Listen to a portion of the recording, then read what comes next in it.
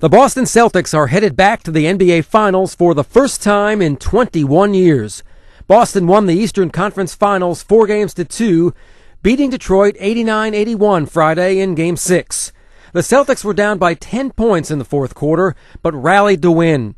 Boston scored nine points in less than two minutes, and a 19-4 run put them ahead 79-74. Paul Pierce was game high for the Celtics, scoring 27 points. Ray Allen had 17, Kevin Garnett 16 in the series clinching victory. Chauncey Billups led Detroit with 29 points. Richard Hamilton had 21. But Rasheed Wallace only sank 2 of 12 shots and only scored 4 points.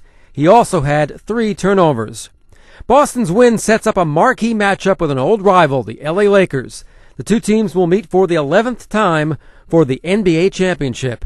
This will be the Celtics' 20th trip to the NBA Finals, which get underway June 5th with Game 1 in Boston. Steve Karmazin, The Associated Press.